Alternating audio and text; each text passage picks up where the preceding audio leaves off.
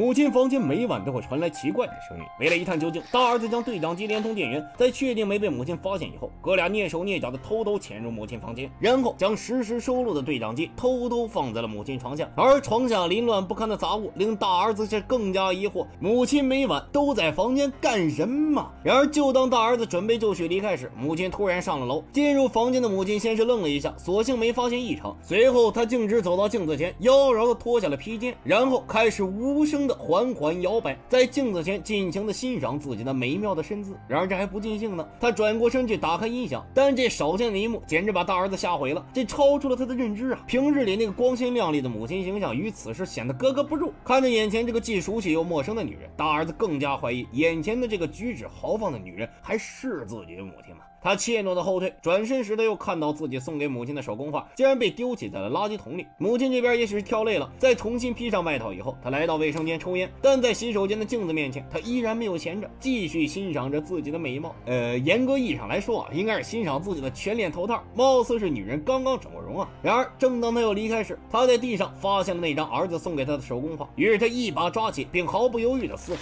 然而，这一切不同寻常的表现都被大儿子看在了眼里。回到房间以后，小儿子则大。大胆地告诉哥哥。I don't think that's our mother.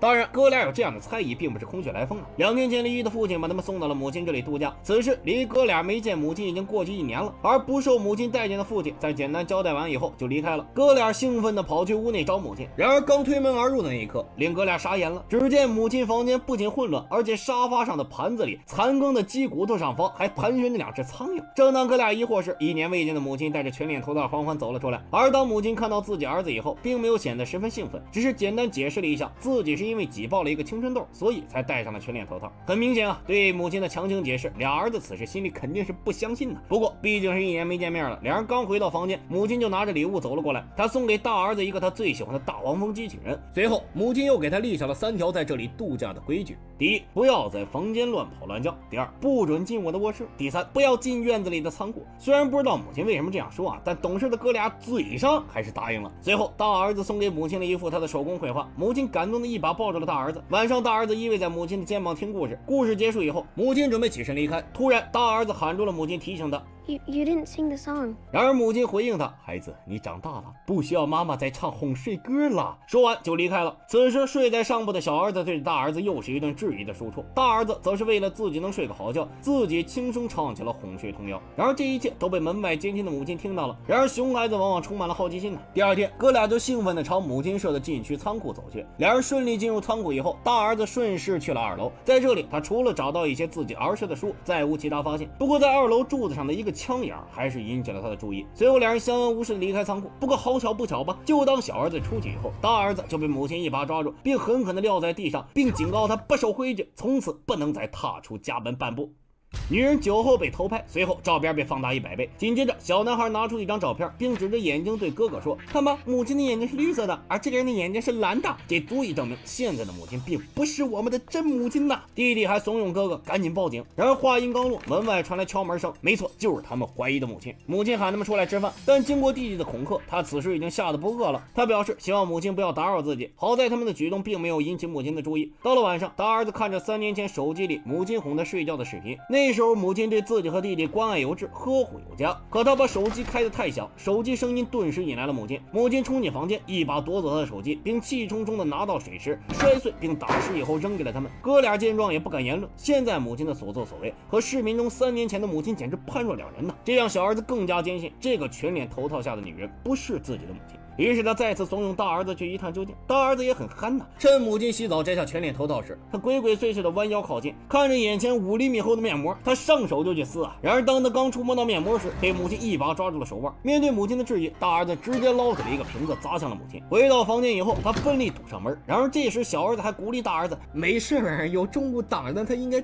进不来哈。”殊不知话音刚落，母亲就气冲冲地闯了进来。此时大儿子恐惧到极致后也不怕了，他坦言：“我和弟弟一直都认为你不是我们的妈妈。然而听到这话的母亲上来就是一巴掌。此时大儿子愤怒的让小儿子也证明一下，她不是我们的妈妈。然而不说这句话还好，说完这句话，母亲更生气了，一把拉起他朝浴室而去，并打开冷水，表示要让他好好清醒清醒。也不知道这招是折服了大儿子，还是真的叫醒了大儿子。他一直在叫着：“妈妈，妈妈，妈妈，我错了，妈妈。”然而躲在门外尽收耳底的小儿子一直相安无事，甚至任何事儿都与他扯不到关系一样。刚受训过的大儿子正躺在床上懊恼，这时小儿子贴心告诉他：“此地不可久留啊，我我们还要立刻马上离开这个鬼地方。”然而天不遂人愿呐，哥俩一出门就遇到了雷雨，既然出去了，就不好意思再回去了。于是两人在附近找了个地方避雨。好在一觉醒来，他们被巡逻的警察发现，在简单问询完之后，警察竟然将他们送回到了家里。此时母亲已经在外面等候他们很久了。原来是母亲发现儿子失踪以后报了警。自从警察到来以后，母亲就摘去了头套。此刻孩子们也是自从来度假以后第一次看到了离别一年的母亲摘掉头套，露出原本的样子。此时褪去头套的母亲显得知性且优雅。在她与警察对话话是，他为了照顾儿子的情绪，想让其上楼睡觉。此时的母亲简直又和面具下的母亲旁若两人呢。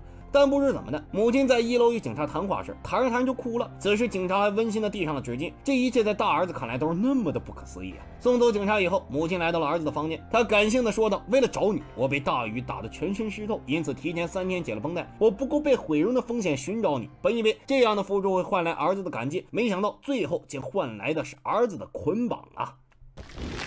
Where is it? 女人被绑在床上审问，你绝对不敢信呐！绑她的人竟然是自己的孩子。看着疯狂挣扎的母亲，哥俩表情冷若冰霜。大儿子甚至拿出了一张照片，质疑女人不是自己的母亲，因为母亲的眼睛是绿色，而她的眼睛是蓝色。女人听后笑了，她表示自己在拍这张照片时戴了有色隐形眼镜啊！如果不信，可以去她包里看看。见女人强词夺理，还在狡辩，大儿子索性豁出去了。他端来一盆热水，直接浇了过去，并大声质问他自己的妈妈在哪里。此时被折磨的女人大声斥责儿子：“哦，我把你养大，为你熬夜，做所有让你开心的事儿。”我就是你妈妈。听到这儿，大儿子终于爆发了。他气冲冲地回到房间，又从床下拿出了第二个证据——一张被女人撕毁的手工画。他质问母亲为什么要撕毁自己送给他的画？如果真的是我的母亲，他是不会撕破我的画的。他甚至会保存起来，会收藏起来。而且，我的母亲每天晚上睡觉时还会给我唱哄睡歌，而你就不会唱。此时，被绑在床上的女人是越听越伤心呢，似乎孩子的每一句话都像是在割她的肉一样。她悲痛地望着孩子，伤心的泣不成声。而这时，身旁的小儿子一直在添油加醋，说他只是整容的项目。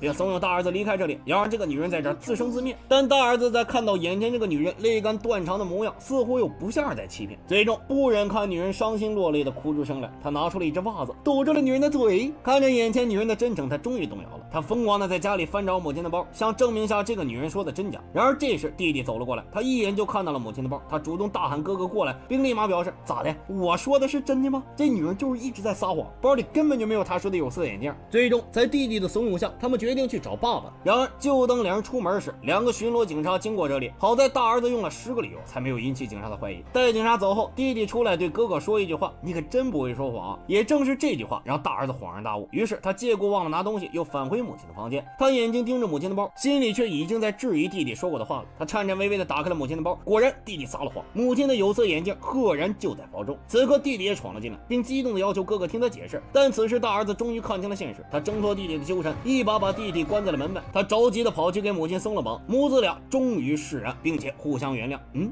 母子俩，嗯，就是母子俩。看到这儿，细心的网友应该能看出来了。影片从始至终都是母亲与大儿子对话。首先，哥俩刚到母亲家的时候，明明房间有两个孩子，而母亲却只带来了一个礼物，并将它送给了大儿子，完全忽略了小儿子的存在。其次就是母亲陪两个儿子看电影时，母亲只有和大儿子离得比较近，而且身子还侧向大儿子，再次完全忽略了小儿子的存在。最后就是哄孩子睡觉时，母亲会亲吻大儿子的额头，并道晚安，又忽略了睡在二层的弟弟。当然，类似这种伏笔还有很多处，相信洞察力稍强的网友应该都能看出来。其实最。后母子相拥以后，刚才还在疯狂敲门与闯进房间阻止大儿子救母亲的弟弟，此时已经消失不见了。由此可以证明，弟弟一直是大儿子幻想出来的。你要问我到底有没有弟弟这个人呢？我可以说是有，也就是三年前哥俩在仓库玩耍时，哥哥不小心用枪误伤了弟弟，这导致自己双胞胎的弟弟离开人世。也正是因此，身为大儿子的哥哥从此留下了心理阴影。嗯，相信他最后在与母亲真诚相拥那一刻，他真正的释怀了，也真正的走出来了。而这一切都是被母亲无私的爱唤醒的。每部电影，每个人都有不同的见解。如果你有更好的想法，欢迎在评论区补充。既然你能看到这里，那不妨再往前一步，点个赞，关个注。你的支持就是我最大的动力。谢谢，我们下期再见。